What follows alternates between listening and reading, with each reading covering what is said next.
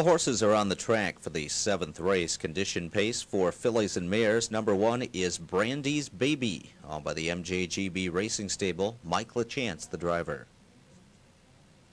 Number two, Smooth Latin N, owned by the FS Stars Stables. Jim Morrill Jr. Number three, A Trace of Magic, owned by Sherman, Grossman, and Horowitz with Eric Ledford. Number four, Bolero Agatha. She's owned and driven by Danielle Dubé. Number five, Vincent Ali is Chip and Gale with Cat Manzi. Number six, Slick Gated, owned by Leon and Lorraine Matches and Gary Matches with George Brennan. Number seven, Shopper's Delight, owned by Ken Conover and Alvin Stafford with John Campbell. Number eight, another Porsche, all by Nis Allen Incorporated, Dave Miller. Number nine is Yankee Promise, owned by Mark LeBray and James Wilno with Luc Ouellette.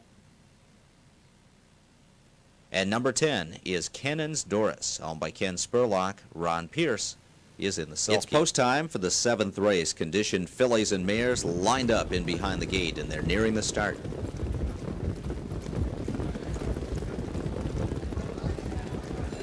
And they're off. Brandy's baby has her head cocked around to the left and struggles a bit early from the rail position. First out is Smooth Latin in for the front. Up close between horses, a trace of magic driving on toward the lead. Chip and Gale on the outside third. Brandy's baby is now straightened out. She's racing in fourth. Another Porsche up on the outside looks for a tuck in fifth. Bolero Agatha is sixth on the inside, followed up by Slick Gated from seventh. Then it's Shopper's Delight, second to last as they pace the opening turn. Yankee Promise, first quarter in 27 and 3. And Cannon's Doris backed off the gate from the outside and trails the field. Chip and Gale takes the lead from a trace of Magic, who has a broken head pole. And rushing up on the outside is Brandy's Baby. And Brandy's Baby sprints past to assume command as they head toward the half mile marker. Smooth Latin End racing in fourth. A bad step for Bolero Agatha. Coming out there was another Porsche who's now first over. And Shopper's Delight is caught out there three wide. Up the rail trapped in is Slick Gated. Yankee Promise races in ninth, a half, and 56 and 4.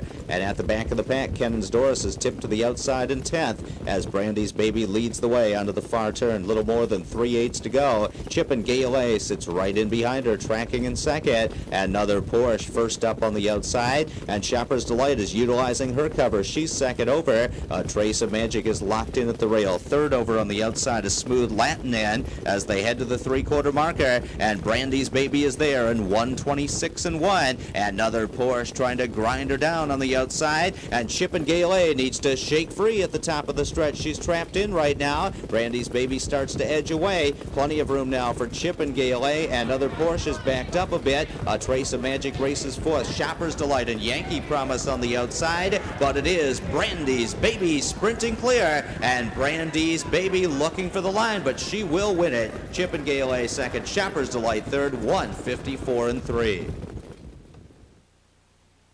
Returning to the winner's circle, number one, Brandy's Baby. Six-year-old run-the-table mare out of Brandy Lou, Hanover by Big Towner, owned by the MJGB Racing Stable of Suffern, New York. Patrick Lachance trains, and Mike Lachance is in the sulky, his second winner this evening. Brandy's Baby, second win of the season, the time 154 and 3 fifths, results official.